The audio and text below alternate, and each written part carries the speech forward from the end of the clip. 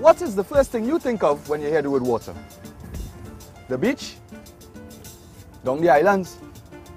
As a twin island nation, Trinidad and Tobago is surrounded by water. But we're much more than just sand and sea. Yet, water is doing great things for us. How? The growing yachting industry. It's not just a matter of a few small pirogues and pleasure craft. It's a major business, which the Ministry of Trade and Industry has identified as a key area for expansion. The local yachting sector began its expansion during the mid-90s when international boating enthusiasts discovered the beauty and the benefits of mooring and storing their boats in Trinidad. Located on the island's northwest peninsula, Chaguaramas is comprised of acres of beautiful countryside with picturesque natural harbors protected by mountainous slopes.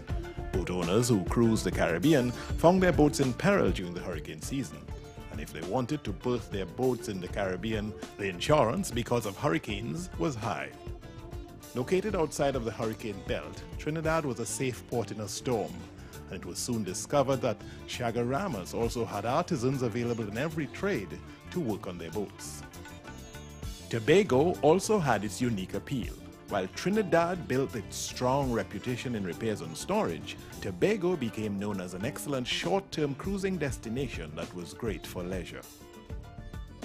The yachting industry is quite a mature industry now.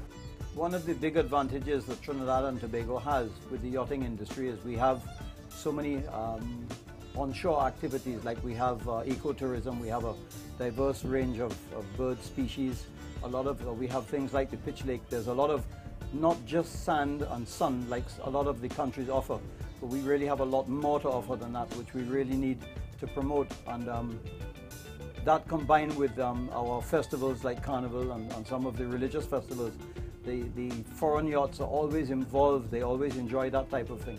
And we need to link these two together, and that will really assist in the growth of the industry. I can't believe what I hear in here. You knew this thing was, was so big?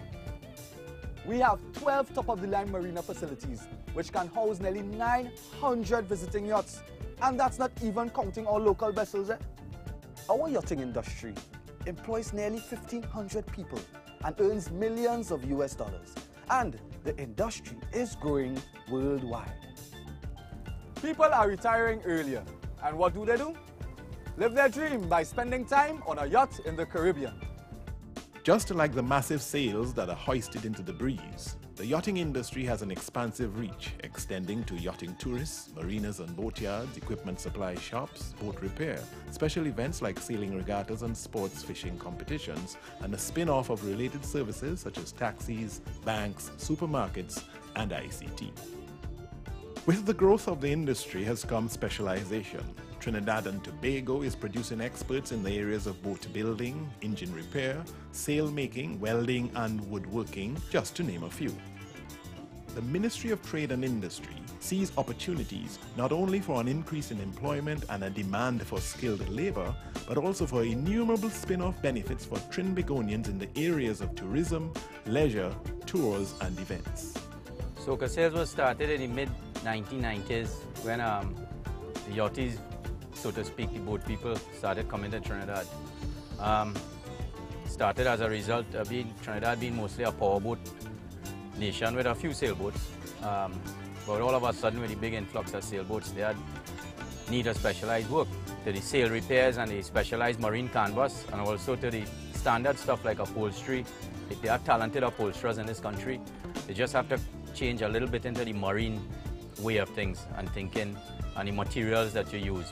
Every boat is a different boat. It's custom built stuff. It's not that you can make factory, make a 100 and keep them in stock to sell. Every boat is different. I mean, if you look around, you can see. So every everything has to be built custom.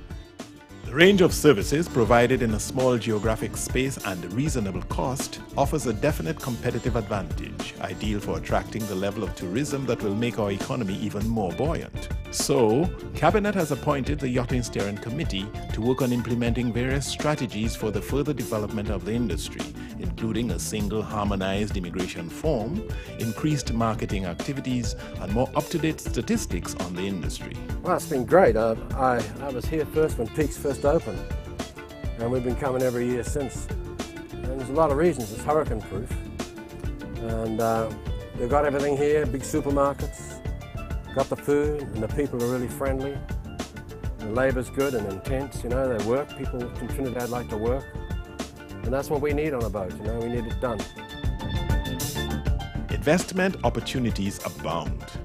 While Trinidad and Tobago has been discovered as a yachting and boat repair destination, there is still a lot of room for sophisticated, environmentally friendly developments. In fact, the San Fernando and Port of Spain waterfront developments have provision for marina facilities in their designs.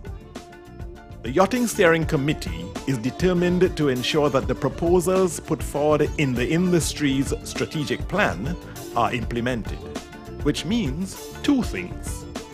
Trinidad and Tobago will become the first choice for yacht repair services in the region, as well as a must-see destination when cruising the Caribbean.